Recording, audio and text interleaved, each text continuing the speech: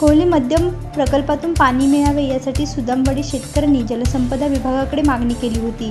परंतु त्यांना टोलवाटोलीची उत्तरे मिळत असल्याने सरपंच प्रभाकर सोनावणे यांनी सहकार्यासह या धरणात जलसमाधीचे आंदोलन करण्याचा इशारा दिल्यानंतर व आधार न्यूजने बातमी प्रसारित केल्यानंतर प्रशासन खडबडून जागे झाले आणि गावकरी यांना बोलवून संबंधित अधिकाऱ्यांनी पाणी सोडण्याचा इशारा दिला.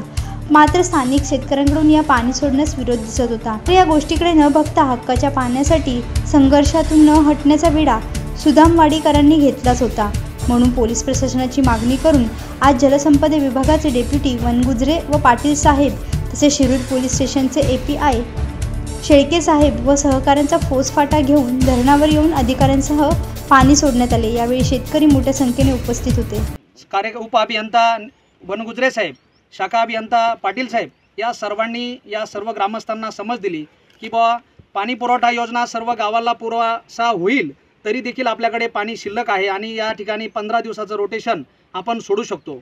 यासाठी सुदामवाडी गावचे सरपंच सन्माननीय प्रभाकरजी सोनवणे त्याचबरोबर त्यांचे उपसरपंच माजी सरपंच राजूभाऊ सोनवणे पोलीस पाटील मोहन मामा सोनवणे आमचे मित्र संजूभाऊ पवार आमच्या बोरसर गावचे सन्माननीय सरपंच अरविंद शेवाळे इतर सर्व दोन तीन गावचे कार्यकर्ते यांनी स्वतः गेली पंधरा दिवसापासून कॅनॉल रिपेअर करून आज अखेर निंबोरे साहेबांचा आदेश या ठिकाणी मिळाला.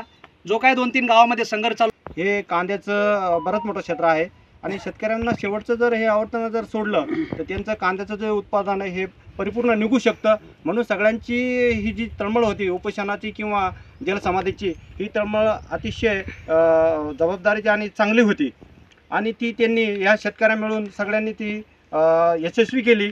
सगळं शासनाच्या सहकार्याने आणि इतर सर्व गावकऱ्यांच्या वतीनं ते यशस्वी झाले. एवढं बोलून मी माझे दोन शब्द ह्या ठिकाणी संपवतो. खरोखरच बळीराजा आज खुशी खुश झालेला आहे का बा? पाटाला पाणी आलं तर पाणी आलं तर जग- आपण दुसरेही शेतकरी आपण त्यांचीही प्रतिक्रिया जाणून घेऊया. नमस्कार. नमस्कार. मी संजय पवार बोरसर. हे पाण्याला पाणी नेणं म्हणजे आमचे कांदे पिका प- पाण्यावर आलेले कांदे.